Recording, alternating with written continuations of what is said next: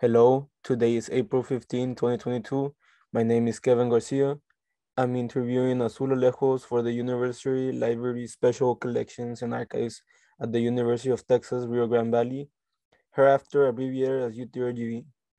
This project is in partnership with the Voces Oral History Center at the University of Texas at Austin.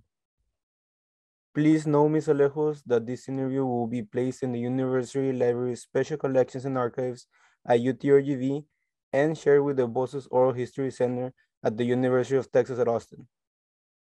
If there's anything you do not wish to answer or talk about, I will honor your wishes. Also, if there's something you want to talk about, please bring it up and we'll talk about it. The University Library Special Collections and Archives will archive your interview along with any other photographs and other documentation you're willing to share. UTRGV University Library will retain copyright or non-exclusive right to the interview and any other materials you donate to the Special Collections and Archives at UTRGV.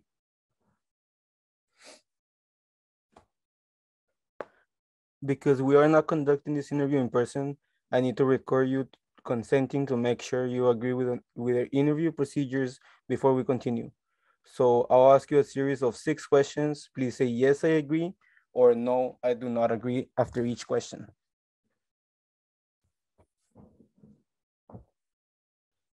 Number one, do you give the University Library Special Collections and Archives at UTRGV consent to archive your interview and your materials at the University Library?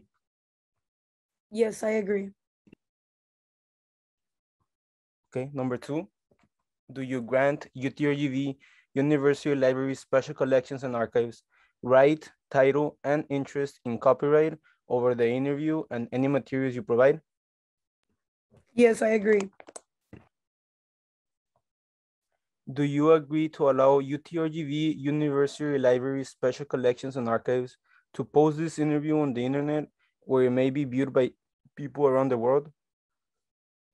Yes, I agree.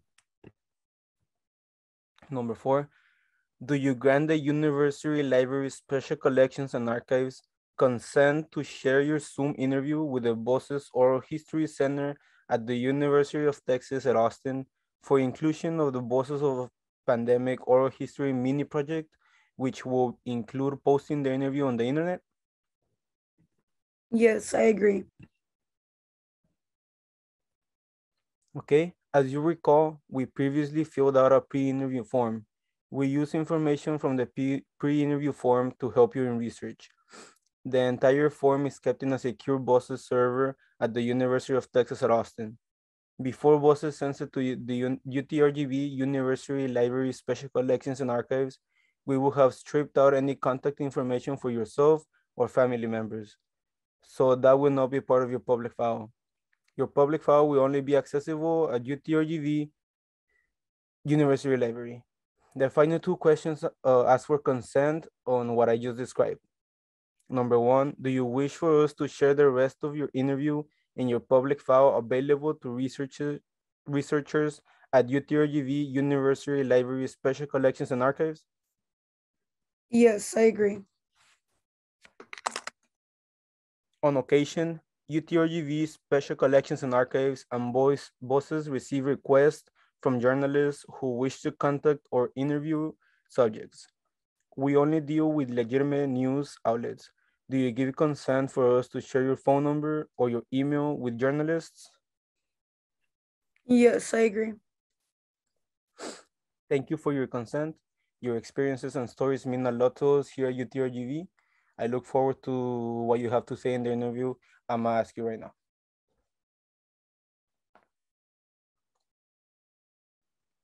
Ms. Alejos, thank you for your time. Like I said earlier, your stories and experiences are valuable to us at UTRGV Special Collections and Archives and to our partners at the Voces Oral History Center at the University of Texas at Austin. So before we talk about COVID-19 stories, can you please share with us a bit about yourself? Who are you and how you wish to be known? Who is Azul Alejos? Of course. So I would like to start off by saying um, My name is Azul Alejos. I am 22 years old. I currently live with my sister and my cousin. Uh, I work as a server server at Olive Garden.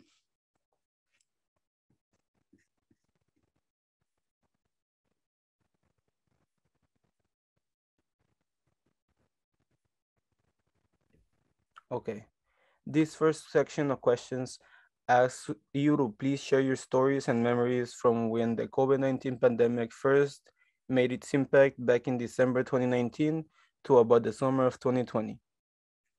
So the first question I want to ask you is, can you share some memorable stories about how you first heard or learned about COVID-19? Of course. So, um, so how I really originally had heard about COVID nineteen was uh through social media. Uh, a lot of people started to panic and started to post about it on Twitter and on Facebook, and uh, it origin it uh eventually got to me where I found out that uh, everything was going on about COVID. Okay. What were some earlier reports or rumors about COVID-19 that you remember back in 2020?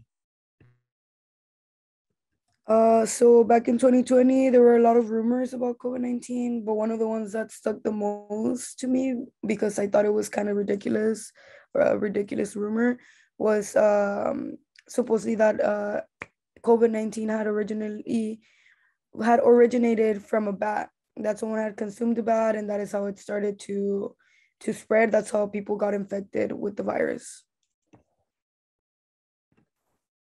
Okay. At what point do you realize this pandemic was serious life-altering event? Or do you not think it's serious? Uh, yes, I definitely do think that COVID uh, is very serious and it was a, a life-threatening event. I guess uh, for me, when I when I first realized that uh, it was a serious serious virus was uh, when everyone started getting sick and people actually started going to the hospital because they were having trouble breathing and uh, a lot of people that I knew uh, lost their sense of smell and taste. That's when I started to uh, realize that this might be a little bit serious, a little bit more serious than I thought. Okay. Do you remember what it was like for you during the stay-at-home orders in 2020? Yes, of course I do remember. Um, so during those times, for me, um, personally, it was really hard because at the time I was living with my mom and all my siblings, where me and my mom were the ones that had to work to pay rent and bills. So I remember that at the time, it was very hard because uh, we had to stay at home and we couldn't really work. So there wasn't really any money coming into the house uh, to pay all those bills that were that were happening. Okay. Over the last couple of years, what news media, social media, or other resources do you rely on to keep you informed about COVID-19? So uh, I guess over the last couple of years, I've uh, I have been relying on social media platforms to inform me about COVID. But as time went by, I realized that um, social media might not be a very good uh, news source. So I started to watch uh, more of the news um, so that I could rely on that and keep for to keep me informed about um, everything that was going on with COVID. Mm -hmm. Okay. Can you share with me what you understand about COVID-19 as an infectious disease and how you feel it's impacted society? Likewise, can you share with me what you don't understand about COVID and what you wish you could know more about? Of course. Uh, so I guess I should start by saying what I do understand about it. For me, COVID has always been uh, very serious, and uh, I understand that this is a highly contagious disease that can be life threatening. Uh, on the other hand, I guess what I don't understand would have to be how this really originated. I would love to know more about how this infectious disease came to be.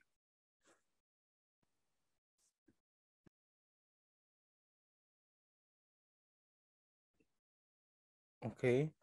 Do you feel your family has the same beliefs as you about COVID-19? Or are there some members who take it more seriously or lightly? Uh, yes. So personally, in my family, we all might have uh, our different beliefs. Uh, for example, uh, most of my family has the same beliefs as me, which is I believe in uh, the vaccine. I believe in the virus. Uh, I believe that it's a life-threatening disease. But on the other hand, uh, my my sister and my cousin might have a different opinion about it. Well, they have a different opinion about the vaccine, and uh, they just don't really believe in all of that.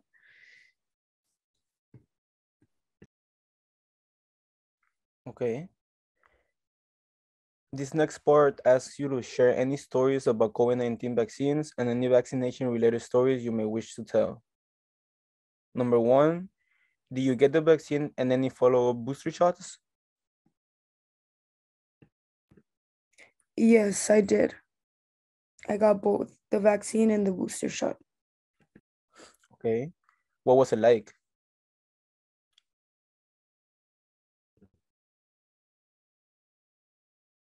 Was it easy or difficult for you to, in terms of scheduling, wait time? Uh, I guess I would have to say it was pretty easy. Uh, I had no trouble scheduling an appointment. I think it was. Uh, I think the harder hardest part was getting a COVID test more than anything. I guess the vaccine was super easy. That you would schedule the appointment. You would. Uh, they would give you a date. You would walk in and walk out within ten minutes of. Of being there. Okay. Uh, can you share a memory from the place where you were vaccinated or boosted? Yes. So uh, I got vaccinated at a CVS. I remember I had uh, scheduled an appointment with uh, some of my friends and uh, my boyfriend. Um, we all scheduled the appointment the same day. We made it a little road trip to Harlingen, where it was where we were getting the vaccine. Got some snacks for the way, and uh, got there, got the vaccine, got out, and we all felt. I guess we felt a little bit more protected with the vaccine in our system. Okay, perfect. Okay, these next set of questions, Azul, are going to ask you about how COVID-19 has impacted your life and your family's life. Okay, Azul, you shared with us in the pre-interview that you help your family pay for bills around the house. How, how big was the family in your household when this pandemic started? Yes. So uh, my household uh, consisted at the time of five people. It was my mom, my stepdad, my sister, my little brother, and I. Uh, so yes, I guess uh, like I said in the previous interview, it did all it did affect the way that we pay bills around the house because of how when COVID was going on, there wasn't as many people going out to restaurants as much the business was slow, so there wasn't enough. Uh, there wasn't like a lot of uh, tables, a lot of uh, tips. So unfortunately, yes, it did uh, affect me in a negative way uh, with that. Okay. Have you or any of your family members been infected with COVID-19 virus? Yes. So unfortunately, my mom was in the hospital not too long ago uh, because she had been infected with the virus and uh, had a very difficult time breathing. Um, so, yes.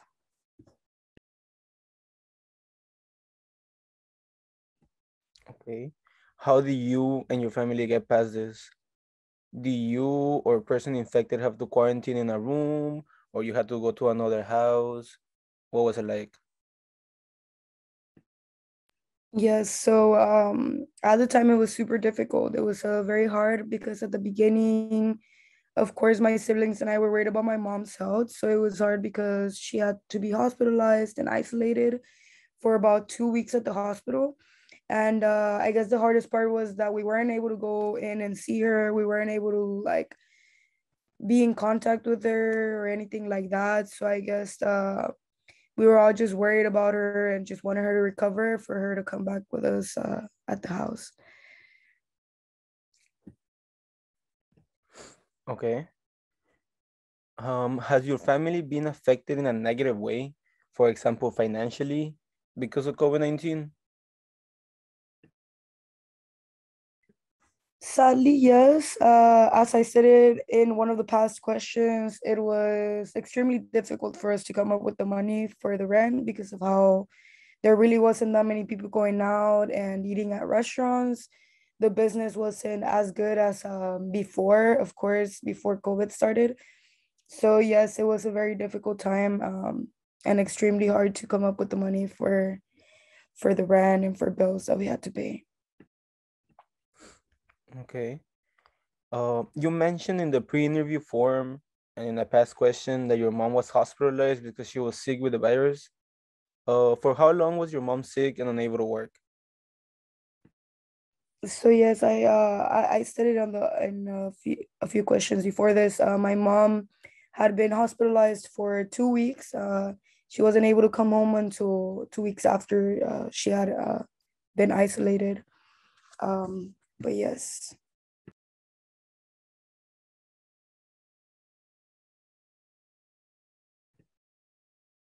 Okay.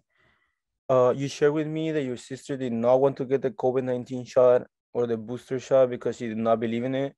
Uh, did your sister still take precautions to prevent getting sick?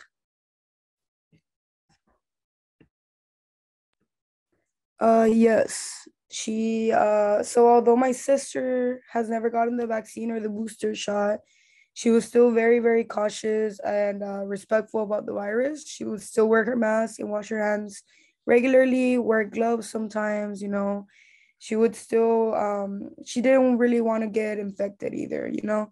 Although she didn't believe in the vaccine, she still took precautions and, of course, uh, kept everything as it was. Okay. Uh, do you think that uh, could have impacted that your mom got sick? Um, personally, no. I do not blame my sister for getting my mom sick or uh, anything like that. I know my sister, like I said, uh, would take care of herself. Um, although she didn't get the vaccine, like I said, she would uh, really wear her mask everywhere she went. And she really was uh, very careful about that because, of course, she didn't want to get anyone sick or spread the disease even more. So yeah, I don't I don't I don't blame her or or don't think that it's because of that that she got sick. Okay. Okay, Azul, let's now talk about how this pandemic has affected your work as an Olive Garden employee. Azul, you mentioned to me that you have been employed at the Olive Garden located in Brownsville, Texas, since it opened back in 2017 and that you first started as a host, then moved to a server. Is that correct? Yes, sir. Can you share some stories on how working as a server at Olive Garden was before the pandemic? Yeah, definitely, definitely. Um, before the pandemic, uh, well, Olive Garden was way different. Uh, I guess uh, starting off by just being busy and uh, and uh, having a lot of uh, variety, I guess, and just always busy and um, constant tables, you know, um, as uh, as per different to when it was after the pandemic. Uh, there wasn't a lot of tables. There was uh, not a lot of people going out and stuff. So yes, it was very different. Okay. Can you recall March 2020 when COVID started impacting the US? How did your work change at the start of the pandemic through the present? So, like I said at the start of the pandemic, I guess uh, when everything everything originally started, I remember everything everyone was panicking because of um because of the virus. You know, no one wanted to get infected. No one wanted to to get sick, to get their parents sick, to get their uh, grandparents sick, you know. Uh, so it was very uh, different, I guess.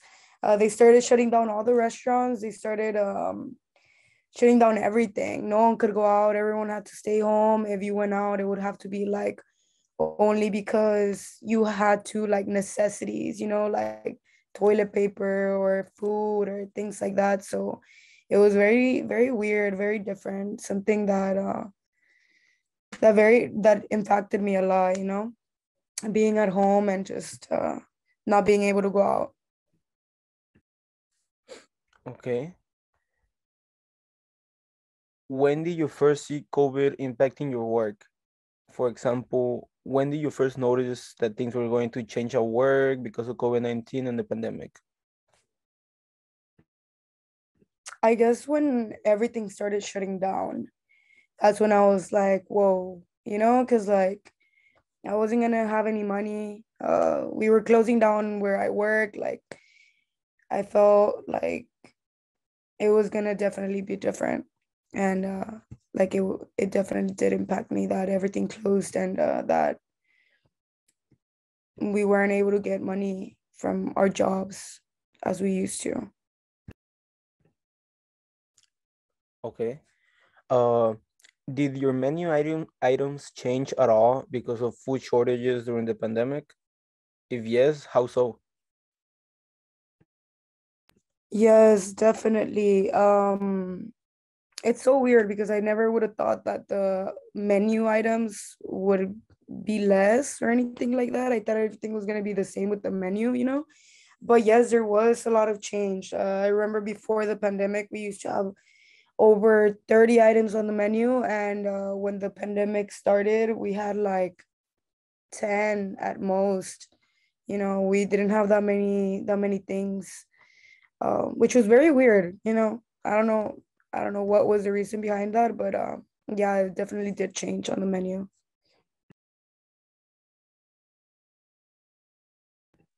Okay. What types of social distancing was or still practice in the restaurant? So back then, uh, they would sit tables around six feet apart from each other, and the limit of the restaurant was about 25% capacity. Uh, not a lot of people were allowed to come in. I mean, not a lot of people were going anyways, but um, if anyone did come in, they would have to sit six feet apart, and um, everyone was like, there was like glass things separating all the tables and uh, just a lot of precautions, you know. Uh, then uh, a few months a few months in the pandemic, they changed it to 50%, and it just started increasing the percentage of capacity as time went on. And I guess right now we're already at 100% capacity. Okay. Do you notice any customers not wanting to follow up any pandemic precautions, like suggested wearing masks or otherwise?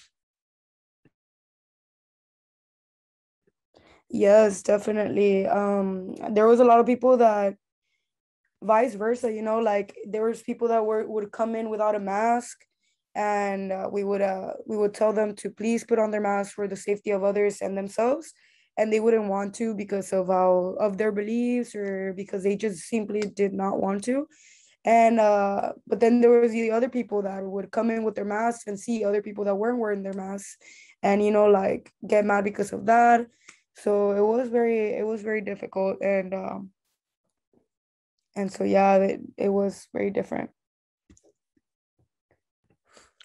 okay um, did anyone in your job get sick of COVID or suffer hospital hospitalization because of it? Yes. So, uh, as a matter of fact, uh, most of the employees from the restaurant got sick from COVID, and they weren't allowed to work until they felt better. You know, until um, they got tested again, and uh, they came out negative. So, but yeah, there was a time when uh, when a lot of people from my job got sick and we we were thinking maybe we were to shut down because a lot of people were getting sick so but yes i remember even uh i had this coworker that uh, unfortunately passed away because of covid and uh so yes. It was very difficult. Okay. Um how did the how did all these problems go going on in your work affect you and your family at home? So uh i guess it affected me and my family because we as servers we're not making enough money to provide for a family you know? Like there's not a lot of people going in there's not uh, much business um my restaurant i uh, like i said before it was only taking 25% capacity. We weren't making enough money you know? Um, there wasn't uh, many tables to take or you know so it was it was very hard uh, paying for bills or buying food sometimes you know?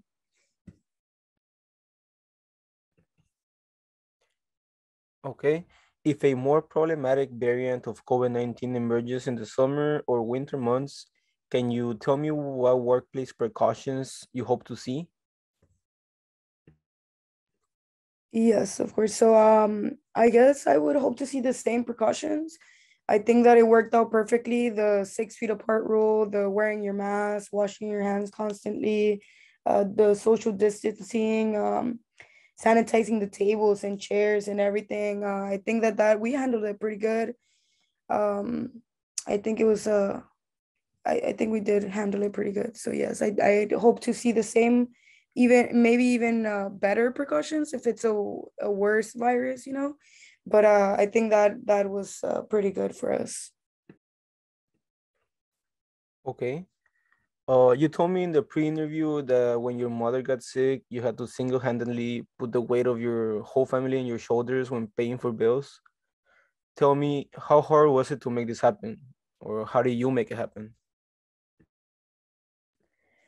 So yes uh, as i said before it was very difficult. And um, even though uh, it's not as e- it's not easy to wake up every day and go to work just to help my family out uh, i felt that i had to do whatever it takes and whatever was necessary to help my family of course. To work more hours as before the pandemic and uh, just to make the same amount of money as before you know like um, there wasn't enough money in my like there wasn't money coming from my job. I had to work more hours and uh, the tips weren't good. Um, people didn't really have that much money either, you know. They weren't going out as much. So yes, um, yeah, it was pretty hard. Okay.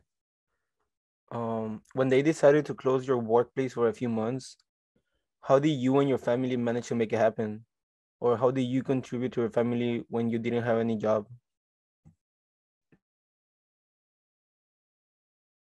So um, when I guess for me when uh when Olive Garden closed uh, for me for a few months, uh, I had to stay at home and help my mom with my with my brothers and uh, and help clean the house, help feed my my siblings, um, so that my mom could work and uh, and pay for the bills for us. You know, um, fortunately, my mom's job was uh, open and she could work for us, but um, so yeah, I, I had to stay at home and and clean the house and, and feed my, my my siblings. Okay. Uh, what kept you motivated while you were going through all these hard times? Um, there's a lot of things that kept me motivated. Uh, but one of the one of the most important ones was, I guess, just spending time with my family. I I felt that um, we needed more more family time. You know, uh, I felt that it kind of brought us together.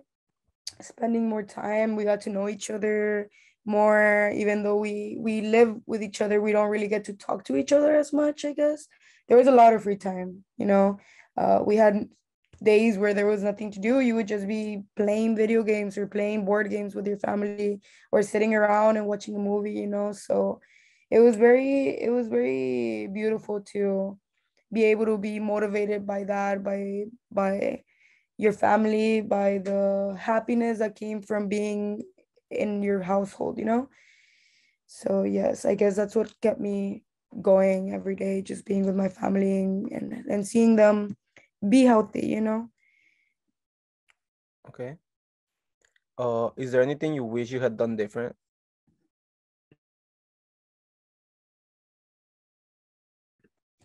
yes i guess i wish i had used the time of the pandemic uh, when we were in quarantine to figure out a good hobby for me instead of just wasting my time doing nothing because really i really wouldn't do anything well uh, other than clean and and help with my siblings i really wasn't doing anything uh, as a hobby. You know, I wish I would have uh, definitely found a hobby, something that I liked. Okay. Do you think anything possible, uh, sorry, do you think anything positive came out of the whole pandemic for you or your family? I think um, the only positive thing that came out of this pandemic was that me and my family got more united. I guess more than uh, more than ever, and um, we were having a good time as a whole group. You know, uh, as a family. I felt that we needed that before the pandemic started, and uh, that just helped us become more united, become more.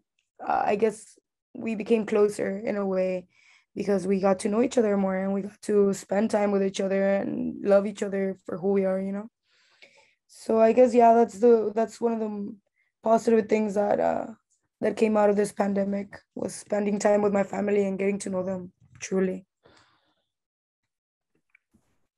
okay uh, this last section asks you to share any stories you have about the pandemic and the response by local, state, and national elected officials.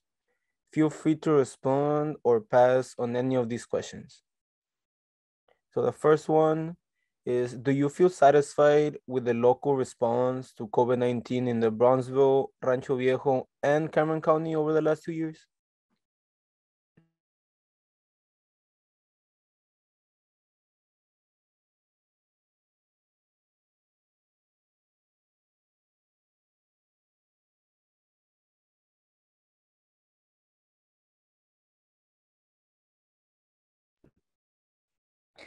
Uh, so yes, uh, I feel like my county has made a good job in making sure everyone has to save, everyone was safe and following all the procedures to uh, all the procedures needed to avoid getting sick. You know, uh, I feel like yeah, my my county did make uh did uh keep me or made me feel satisfied.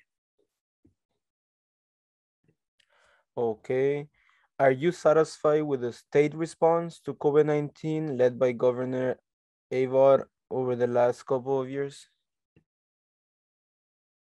Uh, in a way, I I feel like he might have opened Texas back up way too fast. You know, uh, we were in the middle of everything when he decided to to open back up for business. You know, and uh, I guess that is kind of like what caused the virus to spread mm, to spread like rapidly. Um, I feel like if he would have waited a few more weeks or maybe a few more months, uh, it would have been perfect because the virus looked like it was being controlled effectively. But the fact that he opened the state back up and started uh, opening all the restaurants back up, I feel made it a little bit more difficult for the virus to be controlled so yes um i guess that's that's my answer. Okay. Uh how do you feel about the national response to covid-19 led by president trump in the year of 2020 and then president biden from 2021 to present? Um so i feel like i feel like covid really affected us and um it could have been taken more seriously in a way you know. However i also feel like they they did do everything for a reason you know. And if that was the best decision to be made and uh, then it's okay you know. Um, they are overall the the president of the united states you know. Okay. If you had the power of a political office to respond to covid-19 what would you do differently? So, um, if I had the power to respond to COVID 19, I would have given all college students uh, financial assistance uh, only because they were affected badly and they are the future of our nation. You know, I feel like we got to look out for them. We got to look out for, for, for our students, uh, our college students. I would also help out low income families with more money and would not have opened the nation back up until everything was completely safe and uh, for everyone, you know. Okay. Uh, this is a special year in our nation, national democracy, because it's a midterm election voting year. Do you plan to vote? If so, is the issue of COVID-19 going to factor into your votes? No, I personally do not plan on voting this year only because I feel like there are no good candidates to vote for, in my opinion. So yeah, I, I will not be voting this year. Okay. Uh, will you consider the national response to COVID-19 pandemic in your vote for a presidential candidate?